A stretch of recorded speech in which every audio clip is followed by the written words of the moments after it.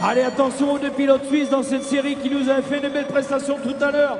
Et l'un d'entre eux est en train de prendre l'avantage, c'est Senchi Kilian pour la Suisse avec la plaque numéro 543 qui s'est donc emparé de la troisième place car c'est Ofernik.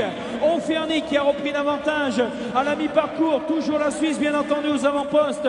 À la deuxième position, Senchi Kilian revient très bien. Toujours la Suisse pour une deuxième place. Maroc, Thibault, Stade Montois abordera la dernière ligne droite en troisième position.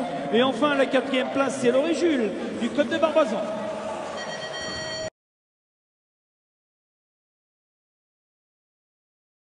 43, attention aux deux pilotes suisses dans cette série qui nous ont fait une très belle impression. Oh, ils se sont fait enfermer par notre ami Vrin Maxime, le pilote de Bertrange. Dans cette troisième manche, ne s'est pas fait surprendre. Il a pris tout de suite l'avantage. Les riders sont sur les arrières, avec notamment Sanchez Kulian et Ofernik. La Suisse, 543, 541. Voilà donc pour ces deux riders. Et c'est de revenir avec une quatrième position, notamment Dolores Jules, le Bicross Club Barbezan débat prendra donc la quatrième place et la victoire de la troisième manche avec euh, le pilote de Bertrange.